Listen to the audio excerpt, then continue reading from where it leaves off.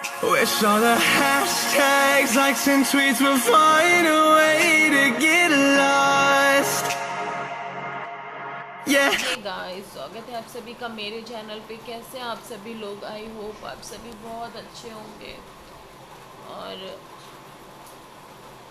मेरी कुछ तबीयत थोड़ा बहुत सही है और पूरी अभी तो नहीं कह सकते सही है। और क्या कर रहे हैं?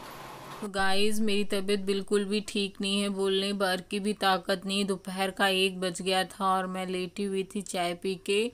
और दोपहर की दवाई भी मुझे खानी है। अब मैं नहाऊँगी जाके और फिर खाना खाना है, फिर दवाई लेनी है मुझे।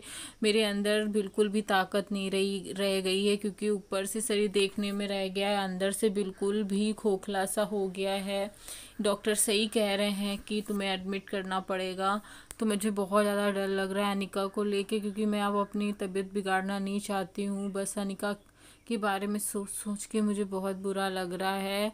अब मैं बिल्कुल सब लोग कहते हैं ना, जितने दिन बीतेंगे तो ठीक होती जाओगी, लेकिन ऐसा नहीं है कि जिसके साथ होता है ना, वही समझ सकता है, बाकी कोई नहीं समझ सकता है। बाबू के बिना मेरी कैसी हालत होती जा रही है, मुझे ही पता है। बच गया है एक और मैं अभी नहा के आई हूँ। और नहाने के बाद बस जस्ट ब्लॉग को स्टार्ट किया है मैंने।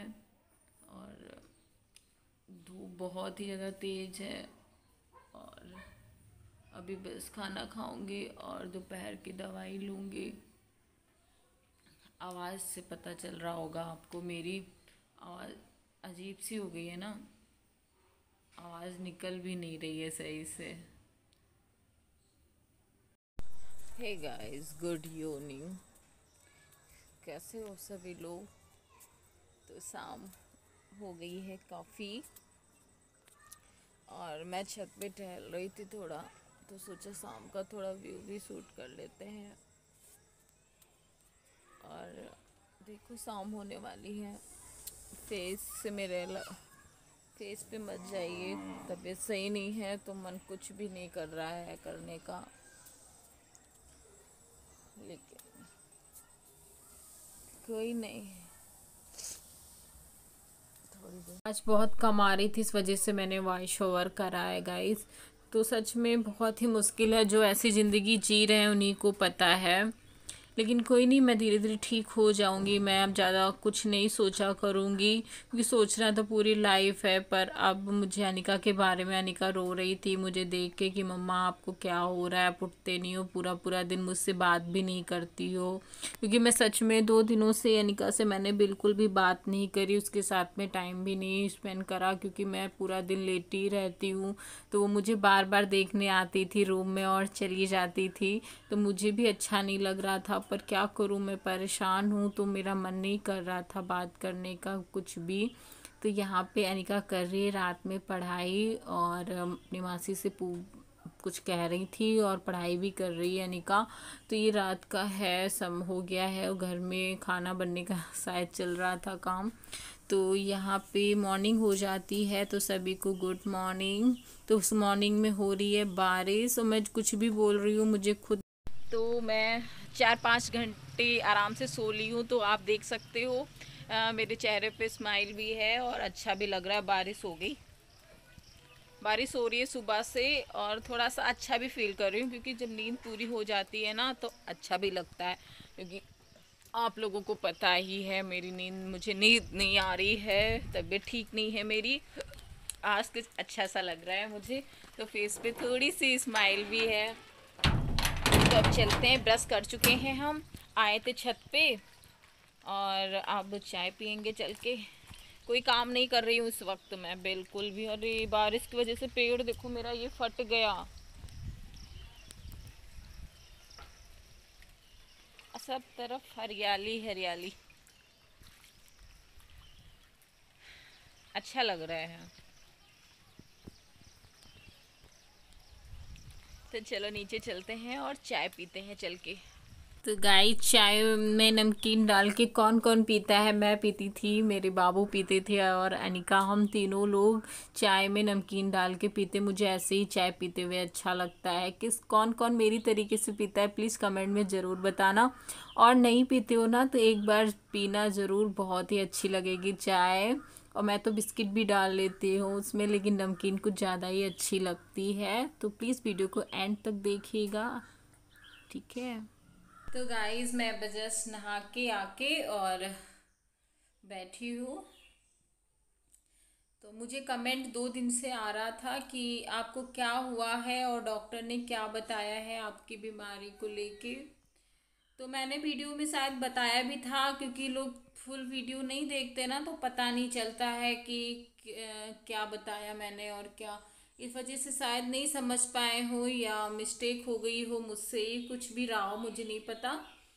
तो मैंने तो बताया था कि मुझे क्या बीमारी हो गई है, मुझे क्या हुआ है तो मैं फिर से बता दूँ, क्योंकि आप लोग को मेरी फ़िक्र कर रहे थे कि आपको क्या हो गया है, दीदी प्लीज़ बताना ज़रूर। तो सोचा थोड़ी सी बात भी कर लेंगे। और आप लोगों को बता भी देंगे कि मुझे क्या हुआ था। तो वैसे तो मुझे कभी भी कोई बीमारी थी नहीं लेकिन बाबू के जाने के बाद से आ, मैं सही से सो नहीं पा रही हूँ। जैसे कि डेढ़ महीना तो मैं बिल्कुल भी नहीं सोई हूँ। और उसके वजह से और मेरा बीपी बहुत ज़्यादा लो रहता है हर वक्त लो ही हो जाता है। ज़रा सा भी कुछ भी सोचने से या कुछ मतलब जैसे भी बाबू की बात तो मुझे मेरे ज़ुबान पे तो हर वक्त रहती ही रहती है। तो बीपी लो रहता है और मुझे सीने में दर्द उठने लगा है और दर्द मुझे मतलब ज़्यादा दिनों से नहीं हो रहा था। ऐसे ही पाँच, चार पाँच दिनों से ऐसा हुआ कि मुझे सीने में दर्द होना चालू हो गया और दर्द कुछ ऐसे ये नहीं कहते कि हल्का फुल्का तेज़ सा दर्द उठा मुझे। तो मैंने सोचा, मम्मी को बताया, मम्मी उस दिन थी नहीं घर पे। तभी हम डॉक्टर को दिखाने के लिए गए थे तो डॉक्टर को पूरी मतलब क्या हुआ है मेरे साथ में, वो सब कुछ मम्मी ने बताया। तो डॉक्टर यही बोल रहे थे कि आपको एडमिट करना पड़ेगा, जो क्योंकि आप डेढ़ महीने से सोई नहीं हो। सच में मुझे नींद नहीं आती है, बिल्कुल भी नींद नहीं आती है पूरी पूरी रात हो जाती है, मुझे नींद नहीं आती है। तो डॉक्टर ने जो दवाइयाँ दी थी मुझे उसमें यही था कि मतलब मुझे आँखें मेरी खुलती नहीं थी। खुल बिल्कुल भी नहीं रही हैं आँखें, मन करता है बस मैं दिन रात सोती रहूँ। तो डॉक्टर भी कह रहे थे, ज़्यादा सोचोगी तो दिमाग पागल हो सकता है। तो बीच बीच में मुझे ऐसा भी हो रहा था ना कि मैं सब कुछ चीज़ें भूलने लगी थी। मैं आपको बताऊँ ना, मैं अपनी दीदी का नाम ही भूल गई। अभी बीच में मैं बहुत ज़्यादा परेशान हो रही थी। मेरा मन बिल्कुल भी यहाँ नहीं लग रहा है, कहीं भी नहीं लग रहा है। तो मम्मी से मैं बोल रही थी, मम्मी, मैं कहीं घूम आती हूँ। तो मम्मी ने कहा, जहाँ मन हो वहाँ घूम आओ, तुम बस खुश रहो। तो मम्मी ने कहा, कहाँ जाओगे? तो मैंने कहा, दीदी के घर चली जाती हूँ। तो मम्मी ने कहा, कौन सी दीदी के घर जाओगी? नाम तो बताओ। तो मुझे नाम ही नहीं याद आ रहा था कि कौन सी दीदी के घर मुझे जाना है। मैं बहुत देर तक सोचती रही, दीदी का क्या नाम है? मुझे सच में नाम याद ही नहीं आ रहा था। मैं बहुत चीज़ें भूलती जा रही हूँ। मेरा दिमाग जैसे कट सा रहा है। क्या मैं पागल सी होती जा रही हूँ? मुझे कुछ भी समझ में नहीं आ रहा। है सच में तो यही डॉक्टर कह रहे थे कि तुम टेंशन ना लो और बस सो आराम से। नहीं तो आपको एडमिट करना पड़ेगा। ऐसे ही रहा तो आपको आप एडमिट हो जाएँगी हॉस्पिटल में। तो यही चीज़ है, मुझे दर्द होता है, मुझे नींद नहीं आती है। अभी आज थोड़ा मैं सही हूँ तो यही चीज़ थी तो मैंने सोचा आप लोगों को बता देती हूँ। तो अभी बस नहा के आई हूँ, खाना खाऊँगी और दवाई लूँगी फिर मैं आराम से सोऊँगी। तो अभी ऐसे ही ब्लॉग मिल पाएँगे आप लोगों को। फिर मैंने सोचा है मेकअप के, मैं ठीक हो जाऊँगी तो मेकअप वगैरह के वीडियो बनाऊँगी। तो मैं जल्दी से बिल्कुल ठीक हो जाऊँ, मुझे नींद अच्छे से आने लगे, मेरे सीने में दर्द ना हो। मैं अच्छे अच्छे वीडियोस दूँगी आप लोगों को। तो ओके बाय